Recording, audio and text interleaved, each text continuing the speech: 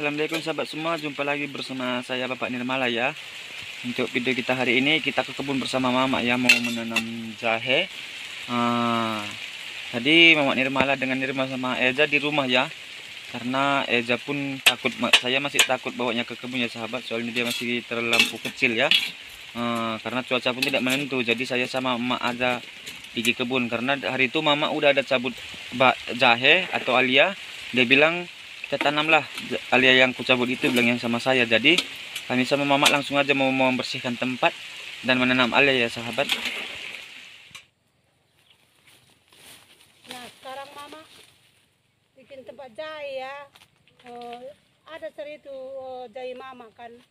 Uh, jadi kena sakit sakit uh, kaki mama ini. Jadi saya uh, uh, tanamlah itu untuk sayur-sayur. Nanti kan masih lumayan kan. Jadi inilah saya bikin tempatnya ya. Hmm, tadi saya sama mama pergi kebun ya sahabat. Mama bilang ayolah kita tanam jahe mama yang hari itu. Belum sempat-sempat ditanam. Di tempatnya mau mama tadi saya tanya mama di mana tempatnya? Mama bilang di sini aja ya. Karena kalau ke bawah-bawah dia pun tidak sanggup nanti jalan ya sahabat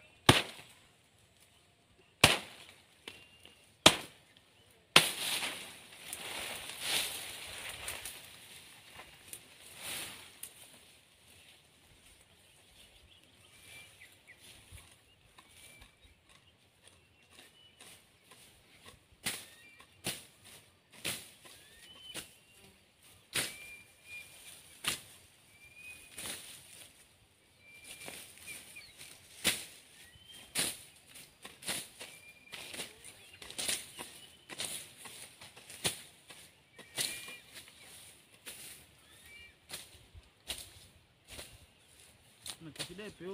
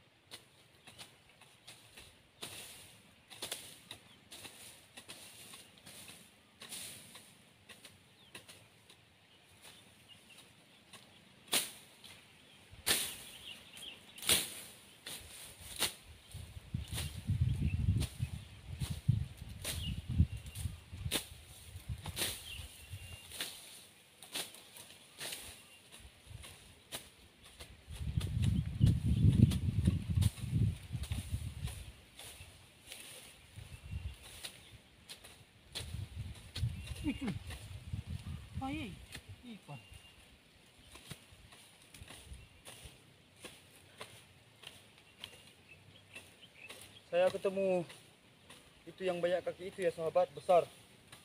Dia mengendap di semak-semak yang eh, sempat udah mati. Kita taruh gitu dia di dalam ya. Tadi saya bongkar. Dia lari ke arah saya. Saya pun terkejut.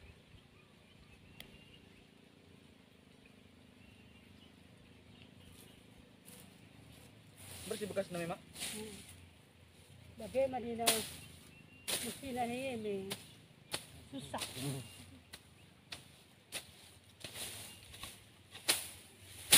oleh tetap kiri ada ruah nakay udah boleh na kreatura bini dulu tak muncul ho udah nih nalungan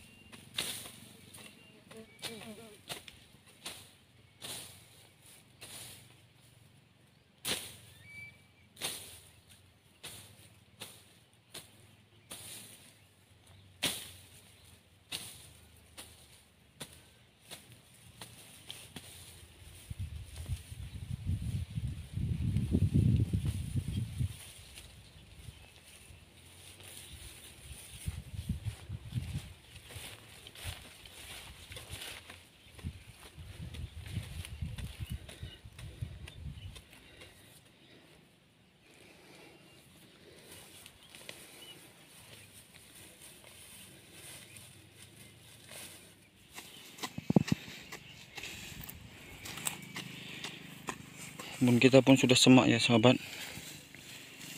Hmm, ini besok kita mau semprot racun lah.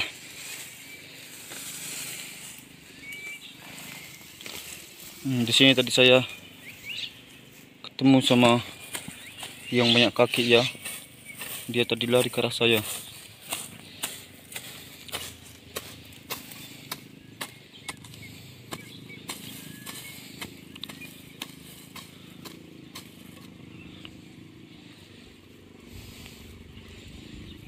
Memang kalau udah satu kaki ini Pak agak susah ya. Ngapain pun agak susah. Coba ini.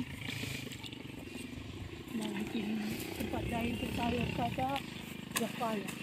seberang sana pun jalan ya sahabat nah anda bisa lihat ya ada motor lalu lalang ya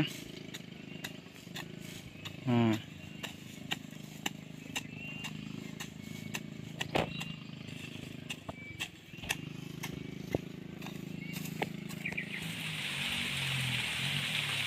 Nah sekarang eh, dari mama tadi pun nggak siap mama tanam ya.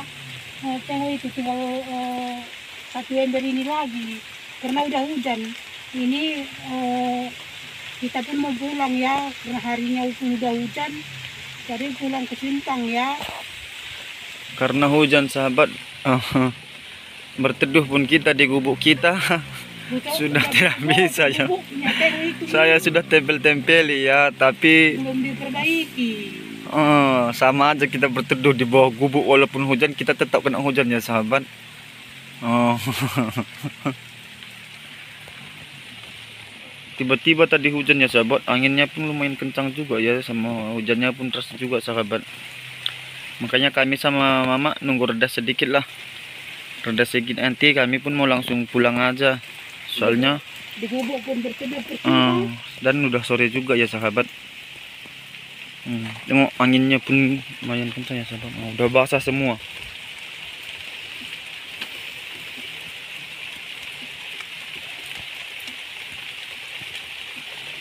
Saya pun tadi mengambil nasi kambing tidak sempat ya saya. Tadi pas lagi kerja saya pikir masih sempat. Bentar lagi bentar lagi gitu. Tahu-tahu tiba-tiba mendung terus hujan ya sahabat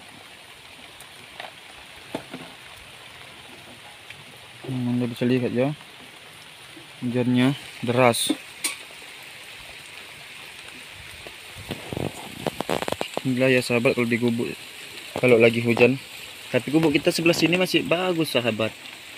Sebelah sini juga yang sudah kurang bagus. Tempat duduk juga yang bocor. Kalau tadi tempat duduk kita tidak bocor kan masih bisa kita berteduh